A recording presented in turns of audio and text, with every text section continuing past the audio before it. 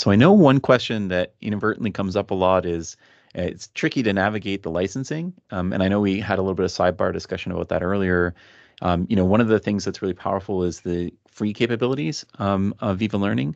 And so um, maybe it'd be useful just to have a really quick discussion on, you know, what people can do already with Viva Learning without necessarily having to go get budget and, you know, a whole deployment strategy around it. Um, uh, you, would either of you like to share a little bit of insight there?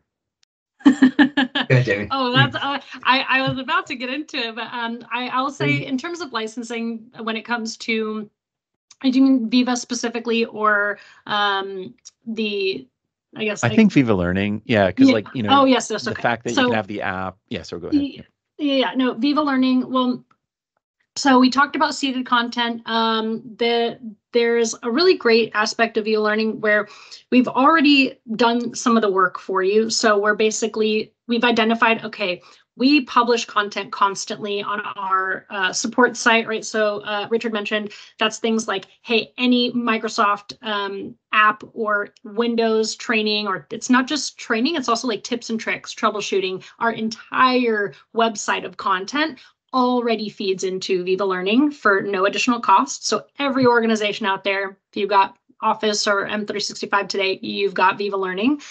We also include our administrative documentation. So our Learn Docs, uh, uh, those are, are filtered right, are fed right into Viva Learning. Um, some of the LinkedIn uh, learning courses, which is basically a curated list of content yeah. where we've kind it's, of. It's over 300 now, though. There's a lot of courses yeah. in LinkedIn. And they're really I, good. I, yeah. yeah. I didn't realize that was really, increased like from before.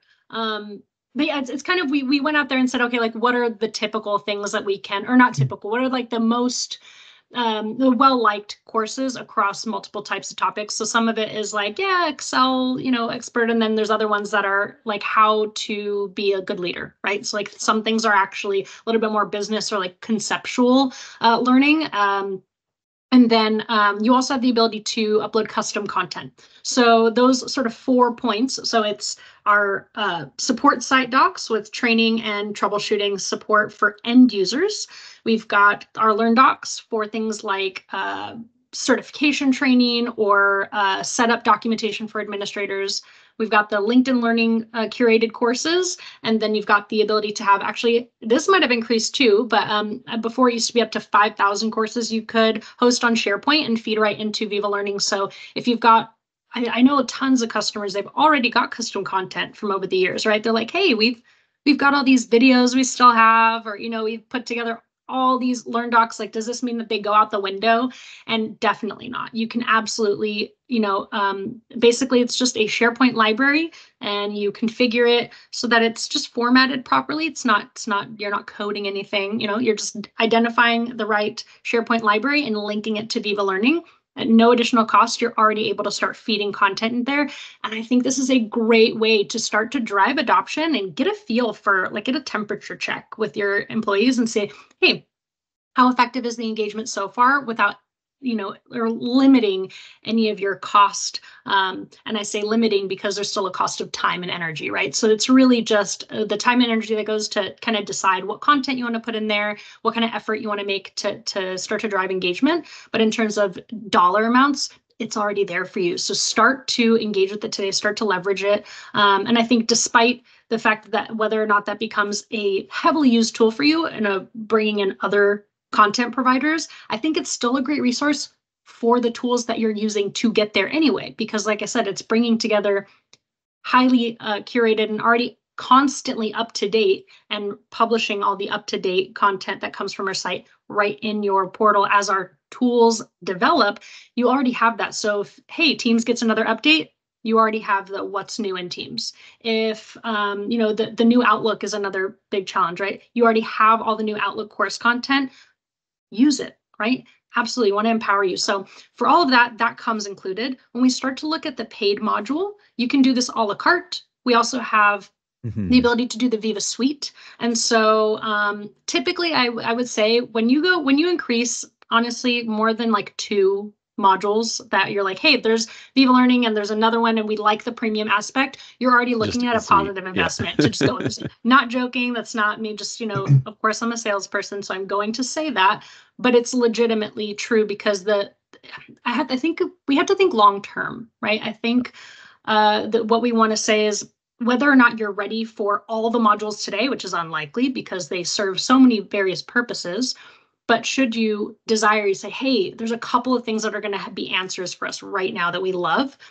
But down the line, you'll realize the further you digitally transform, the more you start to integrate and use these tools. And the more you realize that, hey, now that we've adopted learning, I feel like we're ready for these other modules you're already licensed and your cost of investment is still you know much lower because you're already sort of set up for success this is the same conversation we really have when we talk about the difference even between things like office 365 versus microsoft 365 because we're giving you all of these um, sort of tools to make sure that not only are you productive but we're thinking about you in terms of your secure and product sorry the security and compliance of your data too. So it's so we start to think long term big picture. And so i think when you're looking at the viva suite while a la carte is a fantastic start um, i think pausing talking to those account teams or your sales reps or doing a little bit of research will quickly show you you know how much you might be able to start to take value away from from the viva suite I love I love the tactic of uh, taking like IT or champion programs or other things where people have that need for those digital uh, resources, yeah. those learning materials, yeah. and piloting with them because you can. You're yes. right. You can deploy it per user license. You can deploy the app. You can even you know do the free one and then deploy that mm-hmm. to a targeted subset of people um, to kind of control like, hey, this is our official yeah. capital L learning. Here's our lowercase the, L. The tab in your channels. The, yeah, that's, that's one big one that I that we don't have time to say everything but right and i think that's the tough part in these is like there's it's that one little feature that takes everything just like 10 Love miles it. forward and so that the something that i found to be really effective with viva learning is if the learning app is still too much i found that what's really great is like the empowering of, of employees i'll tell people hey well, now that you have your content here, what I really love is different teams and departments will take it upon themselves to say, hey, well, I don't necessarily have the ability to be a learning admin and create a whole learning path, right? Let's say, um, but I can go create a tab in my team where I'm collaborating yeah, pick with some learning and put there. Yeah, I love that. And you add all of those different courses there, and you've basically created, you know, a curated content catalog. And so not only for what's today, but what about when you have a new employee on board into that team? I now I don't have to, you know, um, sort of struggle with leadership to make sure that we're getting all those custom courses to them. I can say, hey, yes, here's all the things that you need to do for compliance that you're they're assigning to you, but also here are ways that you can be excellent that we've learned just in the last six months with this team. Go right, and then that grows and develops, and so you get to really influence that over time. And anyway got a lot of thoughts there, but no, I I think it's great. Like you know, to your point, each feature has its own story, right? Why does yes, it exist? Yeah. It, it solves a immediate problem and connecting those learning experiences. Any any other comments from you, James, before we wrap up, or or questions that you commonly get? Um, I know. I think Jamie kind of covered the the gambit there. Like that was kind of really good, like broad overview of you know everything that you know why people should should go into this and and kind of the the path for adoption. Um, I think that you can really when you're getting into Viva, you can really kind of tailor it to your needs at the moment. So it looks daunting with all these modules there, but like Jamie said, take it one step at a time. Just break it down into small pieces. Start adopting it, and you'll start seeing the value and in, in getting into it. So that's that's what I would take away there. Yeah. Awesome. And I just dropped in our just that public the Richard did a nice screenshot of it, but I think my, Microsoft marketing can be a lot sometimes, but this is the one area they nailed it.